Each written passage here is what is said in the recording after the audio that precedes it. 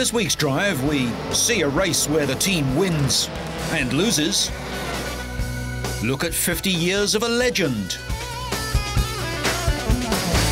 Watch as even the best drivers do it alone.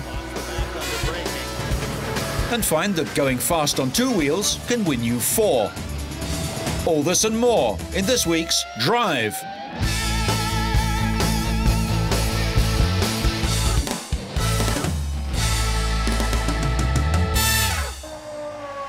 In the super-fast world of Formula One, the slightest change in a car's performance can mean the difference between victory and defeat.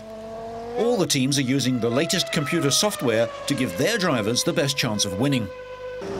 The Jaguar team uses computer modeling to measure the driver's body and create a virtual reality model and design a cockpit optimized for the driver's height and reach.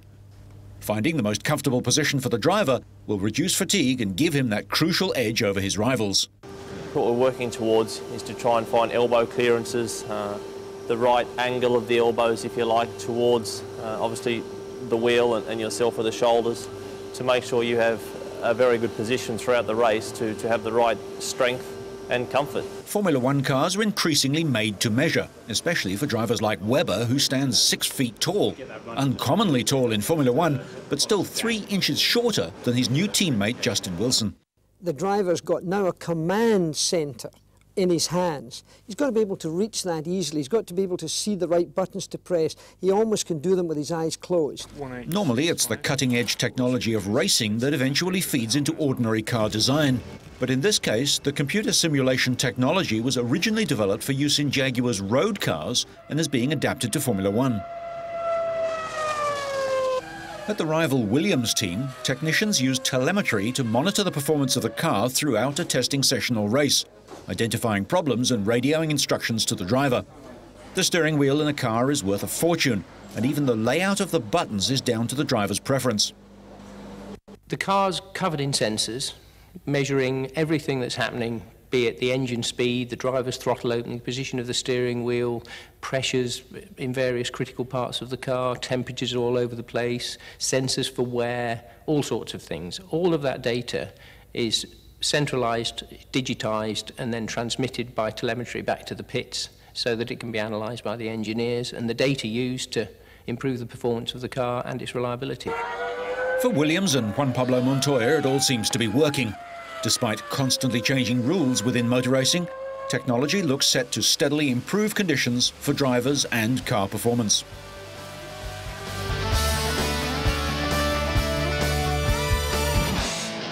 The DTM series moved back to Germany and the Nürburgring for the seventh of the 10-round championship.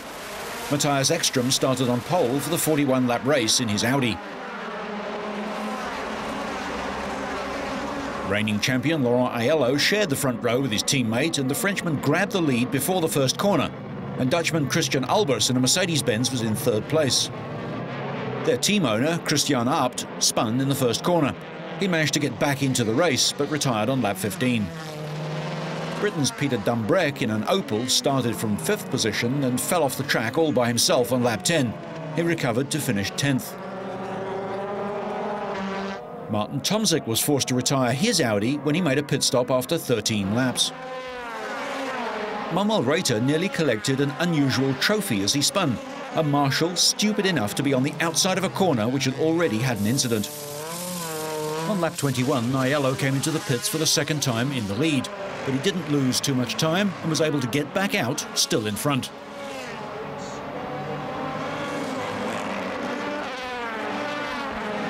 There was a battle developing behind Aiello for the other podium places between Bernd Schneider and Christijan Albers. Mercedes-Benz teammates diced with the German holding second place and then being passed by the Dutchman. Aiello took his first DTM win of the season and Albers held off his teammate Schneider to take second place. Schneider leads the title with 49 points, one ahead of Albers.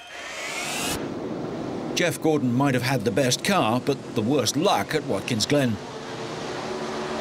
He started on pole but was stone last after one lap because Greg Biffle tapped him from behind and spun him out at the first corner.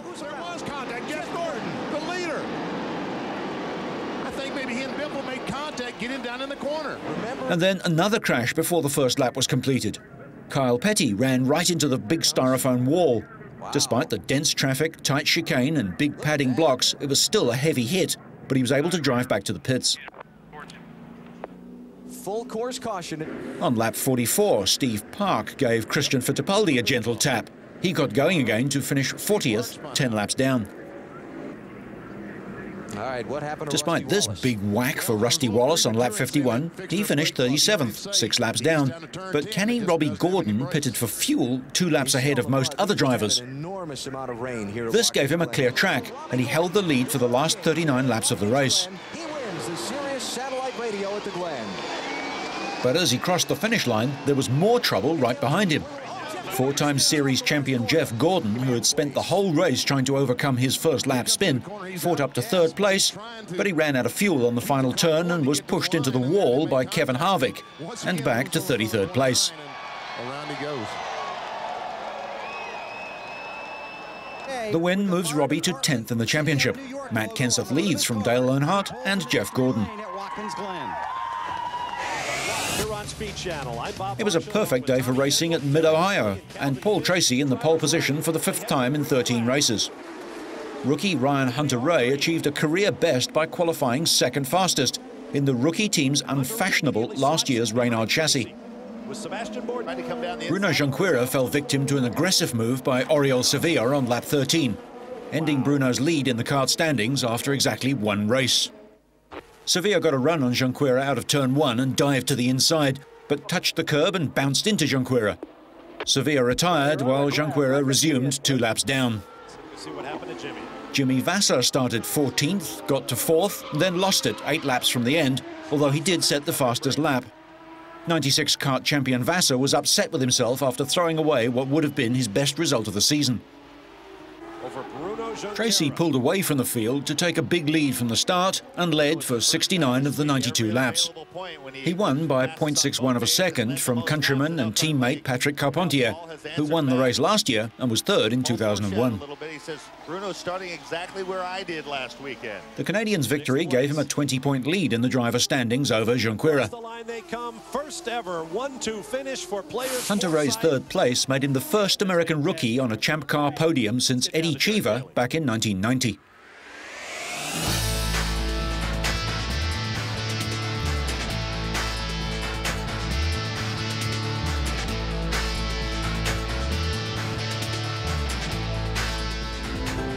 This year sees the 50th anniversary of the Chevrolet Corvette.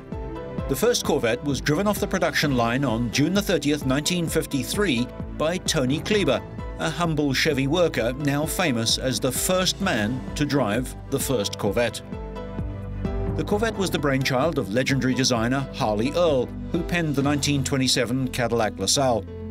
Working in a secret studio, Earl created an American version of the European sports cars, MGs, Jaguars and Porsches. The 1953 Corvette, named after a type of British warship and made of one of the new wartime materials, fiberglass, was a two-seater convertible with a wraparound windscreen. Only 300 were made that year, all of them white with a red vinyl interior.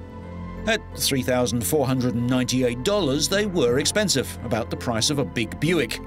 John Wayne bought one. They were beautiful, but they weren't very good. They had a gutless six-cylinder engine and an automatic gearbox. The roof leaked and the suspension was lousy. In 1954, Chevy built 3,000 Corvettes, but a third went unsold. In 1955, production was cut to just 700. The Corvette was dying.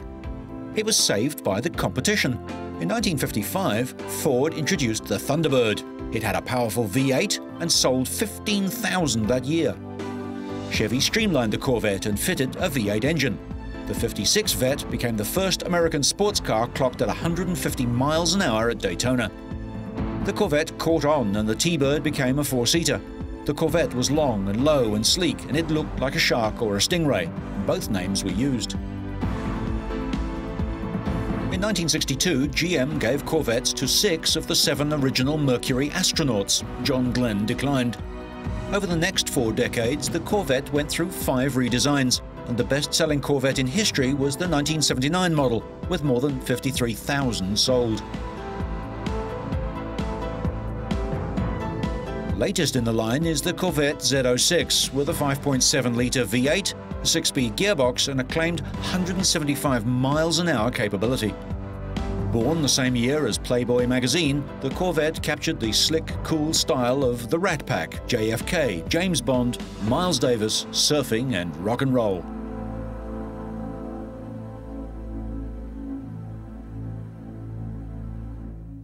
People came from around the world to watch the 1956 12-hour Florida sports car race at Sebring. Here gather the great sports cars of Europe. Ferrari, Jaguar, Alfa Romeo among them, and a sensational newcomer, America's only authentic sports car, Chevrolet's Corvette. Only a year ago, with predecessors of this sleek, hand-built, brand new Corvette Super Sport, Chevrolet made its debut in international sports car racing. And a Corvette placed among the first 10. Two other Corvettes successfully completed America's most grueling race. Now Corvette is back, meeting the exacting standards of the Fédération Internationale de l'Automobile, with production models and with this experimental car, the prototype Corvette Super Sport, challenging the future. It's more than a contender. It's a study in new ideas to be tested over a tough course. A 300 plus horsepower collector of engineering data to be gathered in a single race. The 50th anniversary edition comes as either a coupe or a roadster with the performance of the regular Corvette, with selective ride control suspension, unique red paint, badges and aluminium wheels. The anniversary edition comes with two roof panels, one glass and one painted to match the body. Inside, 50th anniversary badges and special floor mats complete the look.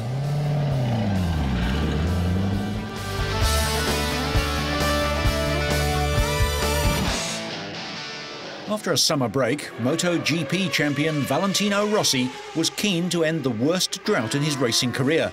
No wins in four races. He went out onto the circuit in qualifying, knowing he had just minutes of the session left if he was to claim top spot. Arch rival Max Biaggi was on provisional pole after Friday's session and had held it for most of Saturday. The Italian fired in a lap 0.13 second faster to beat his countryman and claim top spot. It was the Italian's fifth pole position this season. Then Spaniard Sete Gibernau, also riding a Honda, hit the track. Gibernau, who won the last race in Germany to close the gap on Rossi at the top of the standings to just 29 points, was just over a tenth of a second behind for second on the grid. Biaggi's main downfall had been an early crash which destroyed his primary bike and forced him to use his less favoured backup machine. But despite that setback, he still took third on the grid. Max has had seven career wins at Brno in the 250 and 500cc classes. Earlier, Japan's Shinya Nakano was taken to hospital with concussion after high-siding in morning free practice. The 25-year-old Yamaha rider was conscious, but further checks were needed. Ducati's Loris Capirossi completed the front row. For tomorrow, anyway, uh, will be very hard because the first, all the first lane is under 59 and uh, we need to to make the some choice like the tires for the race and some some different setting for tomorrow morning. I hope have the good weather. Ciao. Championship leader Manuel Poggiali set pole position in the 250cc category. The session was ended a few minutes early when Australia's Anthony West crashed and fractured his ankle, and the sudden end to the session deprived the front riders of some of their fastest times. West started on the second row but retired after three laps. France's Randy de Puniet was second, sending a reminder of his potential. The Frenchman has dropped vital places in the title, claiming just 24 points from the last three races, but is only 24 points behind Poggiali. Fonsi Nieto of Spain was third, ahead of Toni Elias and Franco Battaini, all on Aprilias. Elias won the 125cc race here in 2001, but has gone five races without a podium after back-to-back -back wins in Spain and France earlier in the year. Alex De took pole for the first time since the opening race at Suzuka. He finished eighth here last year after starting from pole for the first time in his career. His qualifying time is the fastest ever lap of Brno by a 125. Steve Jenkner's second on the grid was his best ever qualifying result, and he narrowly missed out on claiming pole. Last year's winner, Lucio Cecchinello, has finished in the top five at the last six Czech Grand Prix. Dani Pedrosa has finished in the top five 18 times since the start of 2002, including 13 podiums. Although he hasn't won a race in a while, Valentino Rossi's consistency has helped him maintain his lead in the championship standings. Going into the race at Brno, he had finished in the top three, on the podium, in the last 15 rounds, and the last time he failed to take a top three spot was at this circuit last year. Rossi quickly saw his pole position negated as championship rival Gibernau made a rapid start, but it was the Ducati of Troy Bayliss that led into the first corner. That set the tone for a pulsating race, with Gibernau, Rossi and the Ducatis of Bayliss and Loris Capirossi all vying for the lead. The outcome of the race hung squarely in the balance as the quartet traded positions and racing lines with regularity.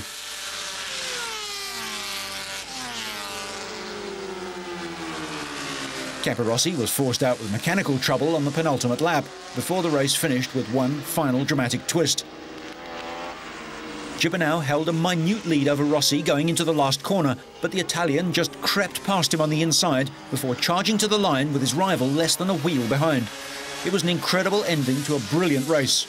Rossi once again showing the fighting qualities that have made him world champion.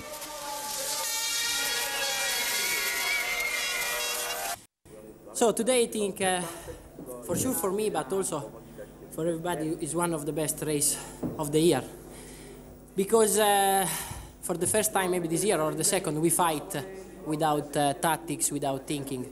Everyone uh, go 100% from the first lap to the end straight away without thinking only I want to stay in front no I want to stay in front. So the fun uh, from the bike is was very very good Rossi opens up the gap on Gibernau as Biaggi, who finished fifth, nine seconds off the pace, slips out of contention, and rookie Bayliss closes on Capirossi. Randy de Puniet won the finest race of his short 250 career after a duel with Elias and Poggiali. The Aprilia trio pulled away from the pack midway through the 20-lap race, and their battle had too many lead changes to count. Randy carved a small margin as Elias and Poggiali tripped themselves up, chasing second place, helping the Frenchman to score his second win of the season. Any one of the top five could easily emerge as world champion this year, with the battle for second place just as intense. In the 125 race, Pablo Nieto went down and Thomas Lüthi had nowhere to go. Both were among the leaders. Moments later, Cecchinello's bike seized, bringing down Jenkner too. After all the action, Dani Pedrosa rode a confident race, leading Perugini for the last six laps, contrasting the early laps when six riders squabbled for position. The Spanish 17-year-old is looking good for his first world title, although with another six rounds to go, anything can happen. Any of the top six can race at the front of this pack one of only three companies in the world to mass produce both cars and motorcycles, is offering an unusual prize. BMW will give away a top-line BMW Z4 Cabrio to the MotoGP rider who scores the lowest time in the sum of all the qualifying sessions at all 17 rounds throughout the year. The Z4 boasts a six-cylinder, three-litre engine with a host of technological and engineering advances. I do believe that there are equal opportunities for all, that we really have an attractive prize, that every top rider has a shot at. We know it is a tight race up front. Not everyone to have a pole will have the best time in the sum. At the first test session, we had Loris Capirossi as our winner. That won him a BMW 330 CD. He was fastest on his Ducati in Barcelona. That was the start of our BMW award, and it was pretty successful. In fact, Loris won the car and promptly gave it away to one of the Ducati team mechanics. The pre-season testing session was the first indication of the pace of the all-new Ducati team. In their first foray into Grand Prix racing in over 30 years, the tiny Italian factory has brushed aside the Suzuki, Yamaha and Kawasaki efforts and taken the fight right up to mighty Honda. Well, Valentino, uh, as you know, BMW has created award for the best qualifying, and that is, of course, uh, uh, by accumulating the lap times of every qualifying session by every rider. What do you think about this award, of course, by winning a Z4 if you do the, the best? For, for me, it's a great idea. uh, first, the, the system to accumulate all the lap time is uh, is not uh, is mean the, the more constant at the end of the of the year, and also you know every rider every rider say yeah no but the car we don't need uh, you know but everybody go to see the car. Oh, man, it's good the car ah, maybe uh, so for sure is is is very good. And also is uh, is good because. Uh, we risk during the practice uh, we make uh, hard work. So a, a, a, a gift at the end for the best is uh, is, is beautiful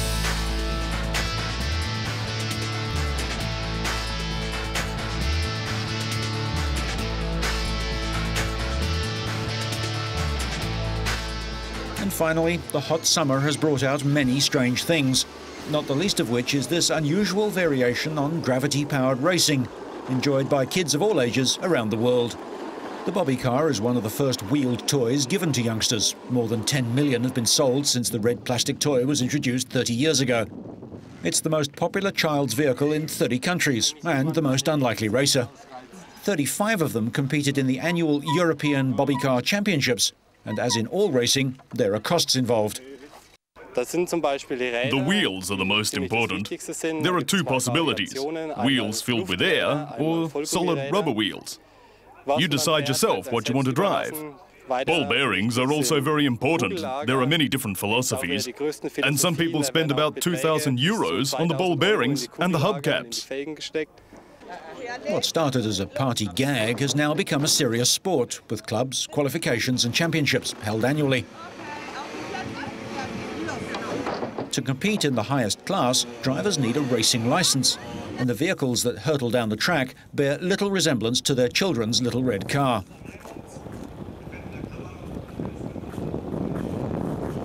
Motors are not allowed, yet the souped-up cars can reach speeds of more than 100 kilometres an hour on the downhill course. Drivers must wear a motorcycle helmet and protective leathers.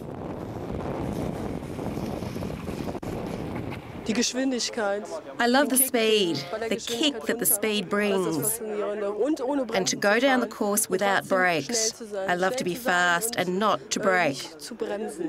Just because they're little doesn't mean that they're any less important to their owners, and racing fans will go to great lengths to customise their vehicles. Formula One tragics could opt for the Ralf Schumacher Williams BMW style, or a copy of his bigger brother's championship winner. Schumi supporters are everywhere, it seems. The rules state that the racing vehicle can be 75 centimetres long, 45 centimetres high and 50 centimetres wide. It may weigh a maximum of 40 kilograms, and the wheels can have a maximum diameter of 24 centimetres.